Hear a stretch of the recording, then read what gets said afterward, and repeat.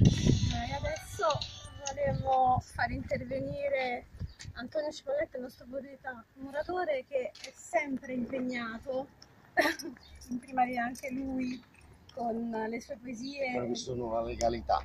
e con la legalità. Quindi eh, lascio la parola ad Ti Antonio. ringrazio, ti ringrazio. Io ho seguito moltissimo in questi ultimi giorni eh, le tv nazionali e locali che parlano del ricordo di Falcone e Borsellino. La cosa che più mi ha colpito di questa intervista è il fatto che Borsellino abbia detto adesso tocca a me. È un, un personaggio che mi è rimasto molto impresso perché non ha detto adesso abbandono, no, ha detto io continuo sulla strada a rischio di quanto può succedere affinché la legalità vinca sul malaffare e su quello che sono le, le cose più brutte del nostro paese.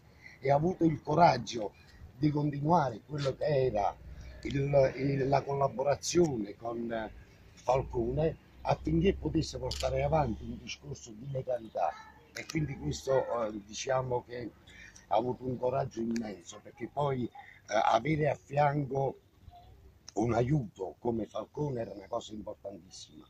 Poi restandone un pochettino da solo eh, rimane una cosa grandiosa. E questa è una cosa che mi è rimasta molto impressa e apprezzo moltissimo questi personaggi che al di là della loro storia, del loro sacrificio, noi oggi poco ci importa e, e lo testimonia un pochettino, chiedo scusa a tutti quanti, la presenza eh, di tanti concittadini che a questo fatto qua, nonostante eh, i cartelloni, nonostante la pubblicità che abbiamo fatto noi, eh, insomma, non si è interessato molto, forse perché a tante persone non interessa questo discorso. Ma io voglio essere qua oggi in prima linea per testimoniare quello che sono stati i sacrifici dei nostri eroi, perché io li chiamo eroi queste persone, e che ci hanno, ci hanno dato tanto e ci hanno insegnato moltissimo.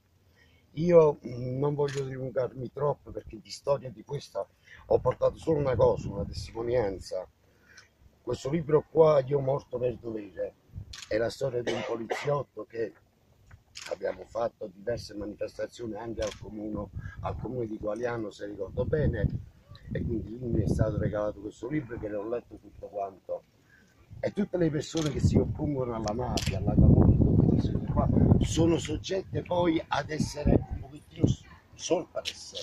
Non lo so perché dall'istituzione, dal governo, perché tutti quanti sapevano, sapevano della terra dei fuochi di- della nostra zona, di Napoli Nord in generale, lo sapevano tutti quanti, le grandi istituzioni, eppure non hanno fatto niente.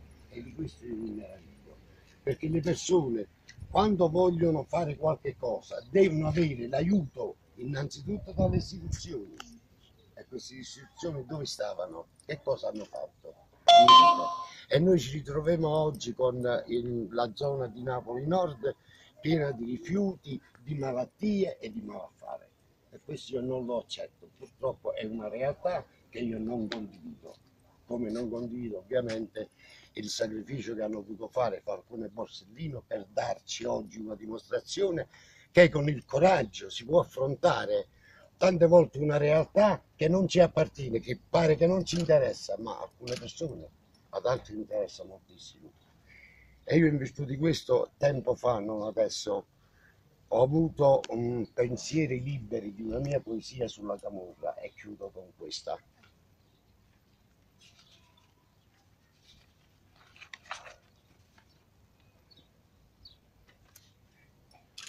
Camorra, che brutta parola.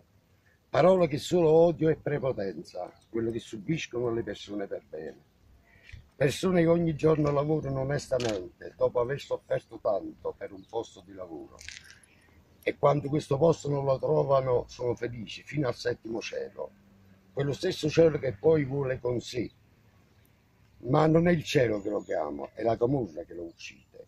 Giudici, politici, ma chi aspettate? Non vedete quanta gente piange per il dolore di una perdita cara? Innocenti senza alcuna appartenenza, senza colpa alcuna, per sbaglio si dice, come nel caso di Pasquale Romano morto a 33 anni per sbaglio di persona. Che strano destino. E noi, padri, madri, familiari tutti, ma chi ci ripagherà di una perdita inaudita? Potremmo noi pensare solo a un perdono e facendolo forse i nostri cari ritornerebbero. Dio dei cieli e della terra, perdonali tu che tutto puoi. Noi ancora non possiamo farlo. Le nostre ferite sanguinano ancora, ma forte sempre resta il loro ricordo di Pasquale Romano e tanti altri innocenti, vittime della Camorra. Camorra, che brutta parola.